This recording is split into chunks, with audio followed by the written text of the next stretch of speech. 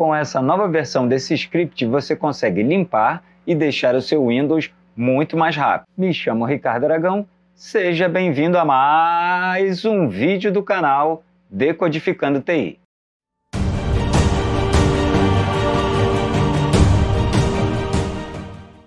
O Win11 Debloat Master é um script em PowerShell de código aberto que remove o bloatware, que são esses aplicativos indesejados que ficam consumindo recursos no seu Windows. Além disso, ele desativa a telemetria, entre outros, melhorando assim a sua experiência no Windows 11 ou também no Windows 10. Ele permite que você escolha quais as modificações você quer fazer no seu sistema ou usar as configurações padrão, não tendo necessidade de passar meticulosamente por todas as configurações você mesmo ou remover aplicativos um a um, tornando assim esse processo muito fácil e rápido.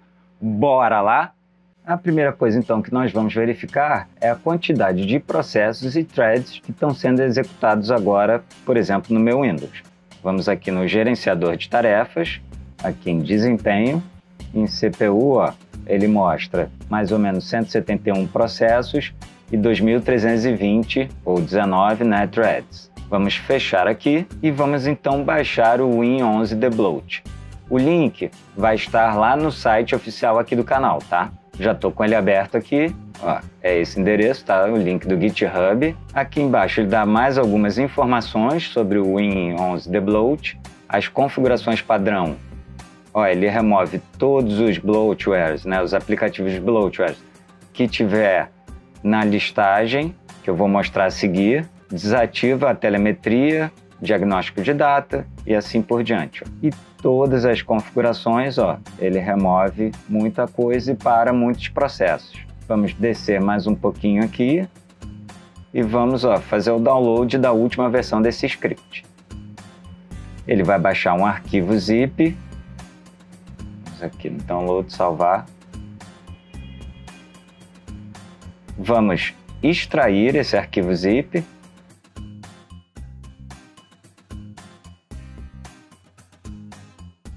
Vamos entrar na pasta então que acabamos de extrair e podemos executar esse run.bat.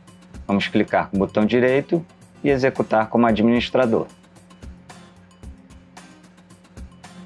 vai proteger aqui, vamos executar assim mesmo. E aqui uma das primeiras opções que ele dá é o modo default, que ele vai executar esse script né, com as configurações padrão, que eu já mostrei até ali no site. O número 2, que é o modo custom, ou seja, você vai selecionar manualmente né, as mudanças que você quer que ele faça. E aqui o zero, que é para mostrar as informações desse script. Vamos no Custom Mode. Então, número 2, Enter. Aqui ele te dá mais outras opções. N, para não remover nenhum dos aplicativos, remover somente a seleção né, padrão de bloatware na applist.txt. Ó. Vamos ver aqui, applist.txt, que é essa lista aqui, ó, o Clipchamp, Bing, tá, que é a lista padrão.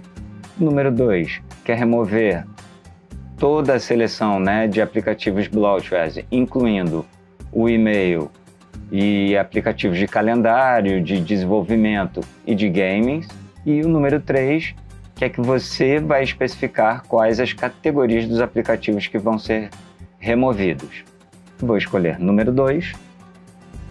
Ele faz a pergunta se você quer remover todos os aplicativos que estão no menu iniciar que são esses aplicativos aqui, ó, fixados, tá no menu iniciar, e ainda informa que é, após essa mudança não pode ser revertida. Vou clicar em Y, que é Yes. Pergunta se você quer desabilitar a telemetria, a, o diagnóstico de dados, né? E alguns aplicativos de tracking e de anúncios. Vou colocar Yes.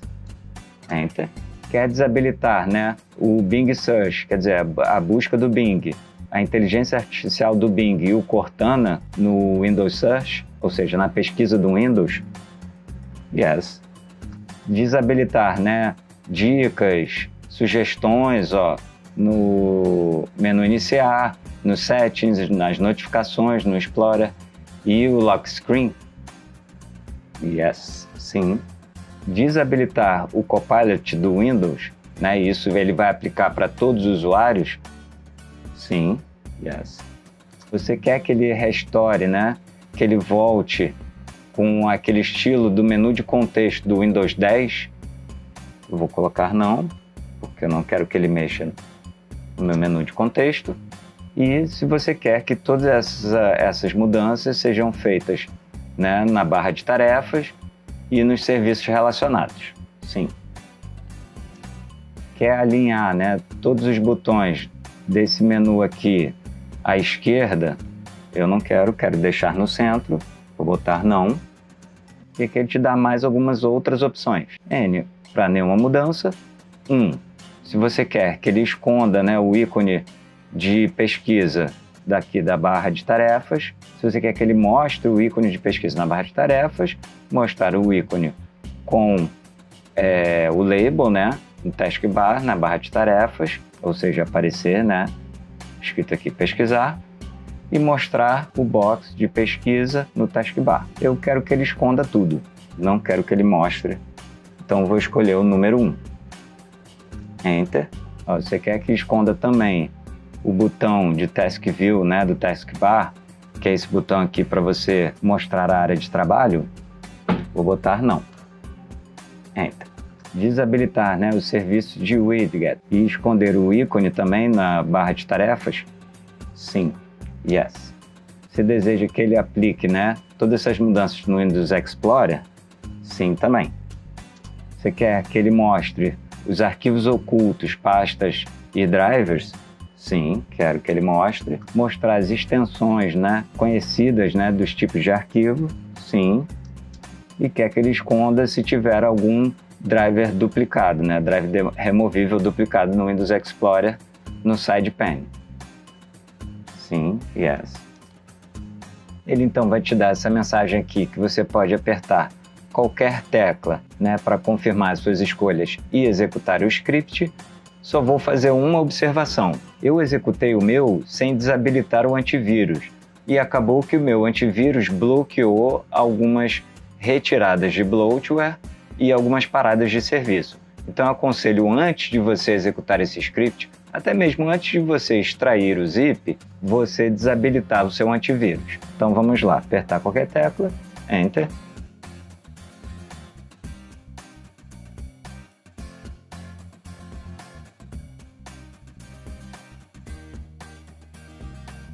Tá vendo? Ele dá a informação de que o script foi completado com sucesso e para apertar qualquer tecla para sair. Eu aconselho então você reiniciar tá, a sua máquina para ele terminar de aplicar todas essas mudanças. Vamos reiniciar. Após reiniciar então, vamos ver a quantidade de processos que estão sendo executados. Vamos aqui no gerenciador de tarefas, desempenho, e aqui ó, ele baixou para 102 processos e 1.500 praticamente threads. Estava bem mais alto, lembra no início do vídeo? Estava uma média de 170 processos aqui e 2.500 threads. Se você executou esse script e percebeu uma melhora no seu Windows, coloca aqui embaixo nos comentários. Se gostou do vídeo, dá um like. Se não é inscrito, inscreva-se e marca a sinola para o YouTube poder te avisar quando tiver novidades aqui no canal. Ah, e não esqueça de compartilhar também com seus amigos. Beleza? Tamo junto!